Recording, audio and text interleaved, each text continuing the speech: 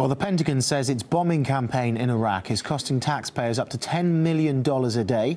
But according to a leading Washington based think tank, the bill is even higher. It's estimated America's air assault has already cost between 780 and $930 million. Igor Piskunov has the details.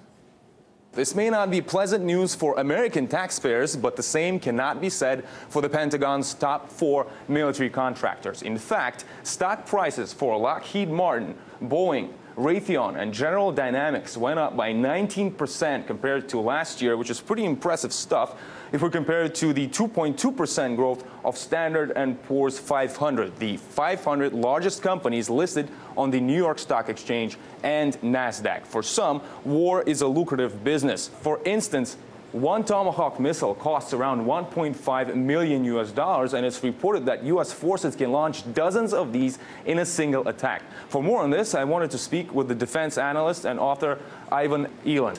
Uh, sir, thanks very much for joining me. Uh, clearly, this campaign against ISIS isn't going to take just a few days. How much weapons do you think will it take, and how big of a business uh, are we talking about here?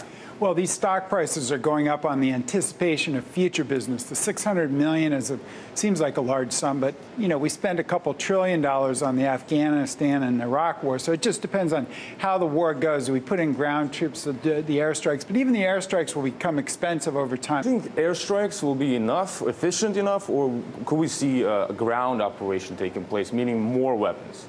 Well, it's possible because I think when you when you, you tend to get sucked into these things, the airstrikes don't appear to be uh, backing down ISIS as much as they thought they would.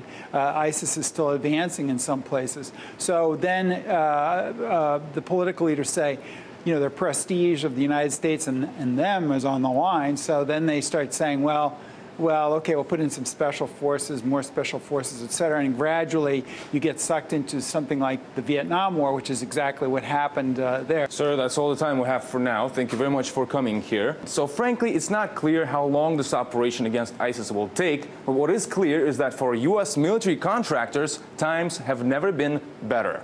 Igor Piskunov, RT, Washington, D.C.